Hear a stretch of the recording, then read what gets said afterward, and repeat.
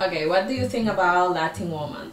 Um, so my opinion on social media, the girls I've seen who are Latin women, um, they're a lot have better attributes than a lot of the girls I went to high school and college with. Um, I think my Latin wife is sexy. She cooks good. And she puts lots of weight on me. and they're good cooks. Good cooks? Well, thank you. They're welcome. Hola amigos, bienvenidos nuevamente a mi canal, yo soy Indira. Hoy te voy a contar cómo es el amor entre una latina y un canadiense. Quédense hasta el final viendo este video. You got so much scarf. but Oh, that's yeah. the purpose. Te puedo decir que los hombres canadienses son colaboradores, eso fue algo que yo vi desde el primer momento. Son personas que se involucran bastante en la relación de pareja. Aquí no hay un rol de que esto te toca a ti por ser mujer y esto me toca a mí por ser hombre. Ellos si tienen que lavar, lavan, si tienen que cocinar, cocinan, van al supermercado y ese tipo de cosas. Esto no quiere decir amigos que todo el mundo sea así. Esto es más o menos lo que yo he visto y lo que he vivido aquí. Y eso es algo que me llamó mucho la atención de aquí Canadá, cómo los hombres se involucran bastante en la relación de pareja. Bueno, generalmente los domingos hace el desayuno, que consiste en huevo frito y pan tostado, café. Lo otro es amigos que te aceptan tal cual eres. Sea, a ellos les encanta nuestra música, el reggaetón, la salsa, les gusta nuestro cabello, nuestra forma de ser y de hablar. Les causa mucha gracia nuestra forma de hablar precisamente. A ellos les gusta la personalidad alegre que nosotros tenemos, esa idiosincrasia, el ser así, auténtico. No tratan de cambiarte ni de imponerte nada. Ellos no buscan la perfección estética, sino más bien la buena compañía, el tener cosas en común para pasar tiempo juntos.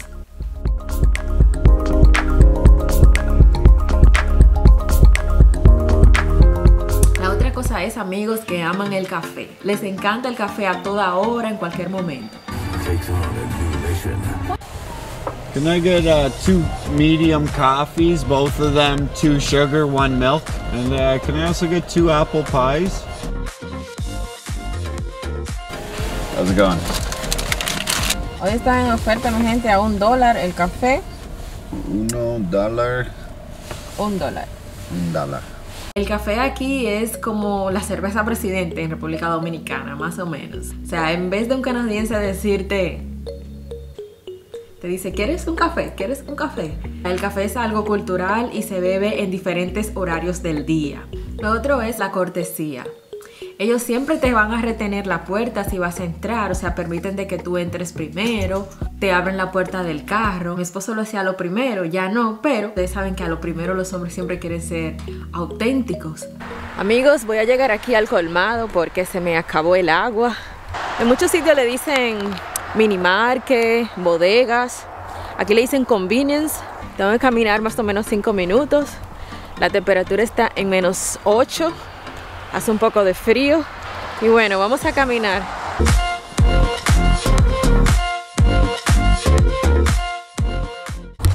Amigos, ya casi estamos llegando. Hace un frío que casi no puedo caminar bien. Pero ya casi estamos llegando.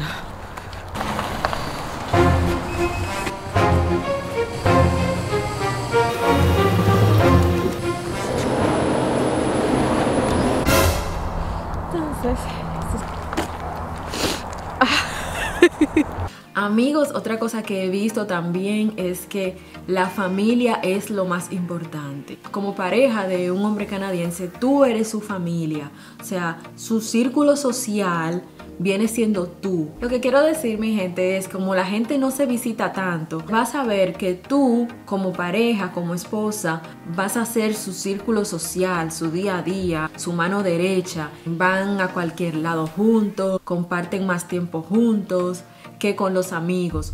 Patrick, say hi. Dominican people. Hi, Dominican people. Al principio mi esposo me presentó sus dos mejores amigos y yo pensé, ¿y qué amigos son estos que no se buscan tanto? es así. Aquí las personas no se buscan todo el día, todos los fines de semana, sino que cada vez que tú necesites de un amigo, ellos siempre van a estar ahí.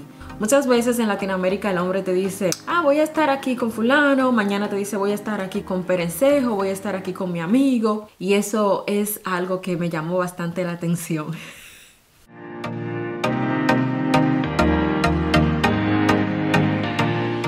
Amigos, entre los choques culturales que vas a ver es que los canadienses son muy metódicos.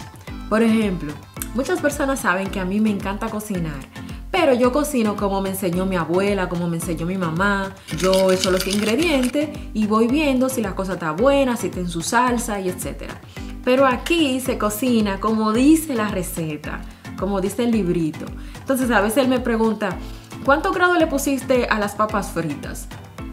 Y yo le dije, yo le pongo hasta que estén. Entonces me dice, no, necesita, son tantos grados a tanto tiempo. También él dice, esta ropa va con agua fría y esta ropa va con agua caliente. Esas cosas yo nunca las hubiese visto porque si acaso nosotros tenemos agua fría.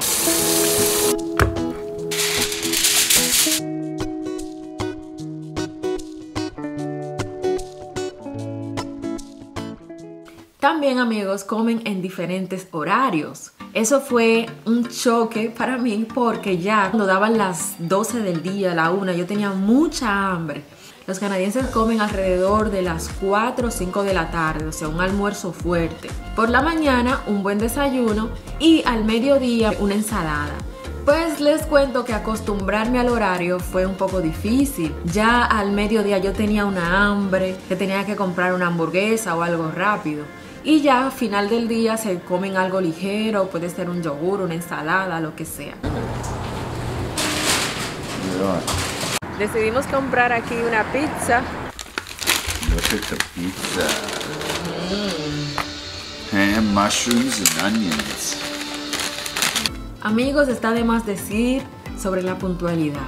El canadiense es muy, muy puntual. Si él te dice que te va a llamar mañana a tal hora, espera la llamada mañana a esa hora. O sea, esa fue una de las cosas que me llamaron mucho la atención desde antes de yo venir aquí. Cuando mi esposo me decía, te voy a llamar mañana a las 10 de la mañana, me espera la llamada a esa hora. Y en general, mi gente, aquí la gente es muy puntual, muy puntual. Una impuntualidad se ve como una falta de respeto hacia la otra persona. Eso es algo muy bueno porque la gente respeta tu tiempo y tú puedes esperar que la persona va a cumplir con lo que te está diciendo. Amigos, acaban de tocar la puerta, llegó Amazon. Ay, qué frío. Ay, no, Es mi regalo de San Valentín. Que conste que fue el que lo pidió, ¿eh? Amigos, esto no quiere decir que los canadienses sean mejor que otros. Por el contrario, todas las nacionalidades tienen su saoco. Básicamente el amor es respeto hacia la otra persona, aceptarse tal cual es, tener cosas en común. En eso se resume el amor, en el respeto, el uno por el otro. What is the love for you? What is the love for you? Yes. Él no sabe. Good.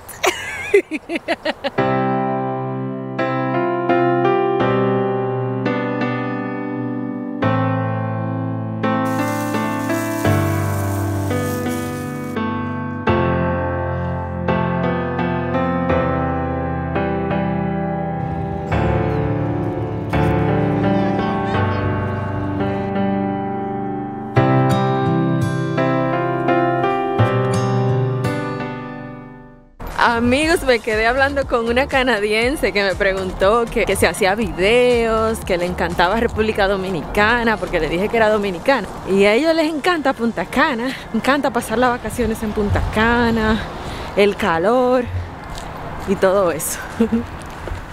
Señores, no le gusta hablarle a la cámara. ¿Tienen alguna pregunta? Coméntenme aquí debajo. Amigos, yo espero que este video les haya gustado.